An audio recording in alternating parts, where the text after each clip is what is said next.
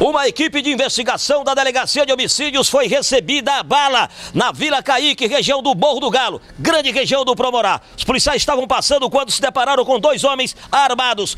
A abordagem foi feita. Eles atiraram. A polícia teve que revidar. Um foi baleado, levado para o HUT e o outro preso aqui na delegacia. É isso aí. A gente estava fazendo um, uma investigação a respeito daquele tiroteio que hoje está com oito dias, que teve duas pessoas baleadas, inclusive uma mulher. No hospital do Promorá. É, ali um rapaz que foi baleado ia saindo do hospital. Estava fazendo uns curativos e a mulher ia passando. Parece, a, segundo as, a, até agora o que leva à investigação, que eles que não foi bala perdida não, que eles foram para matar a pra mulher. matar a mulher. Até segundo os primeiros levantamentos. Isso, isso aí mais na frente ainda vai, vai ser detalhado. Mas o que vamos falar agora sobre esse, essa, essa ocorrência de hoje.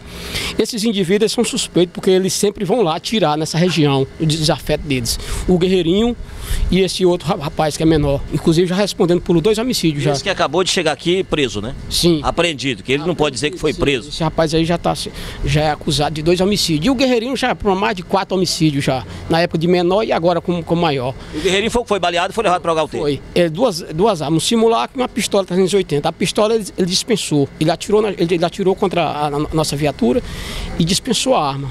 Aí a gente temos dois, um ou foi dois disparos de contenção e foi atingido na perna dos meus moderados para tirar ele de combate e ele está no, no, no, hospital. Todos, de, todos eles respondem por homicídio. Inclusive o Guerreirinho é um dos elementos mais salientes aqui da nossa área. Mais saliente, porque bandido pesado ele não é, ele é um saliente. Desafia todos e vê atirando ali naquelas regiões, baleando pessoas inocentes. Não é a primeira pessoa inocente, muitas pessoas inocentes já foram baleadas.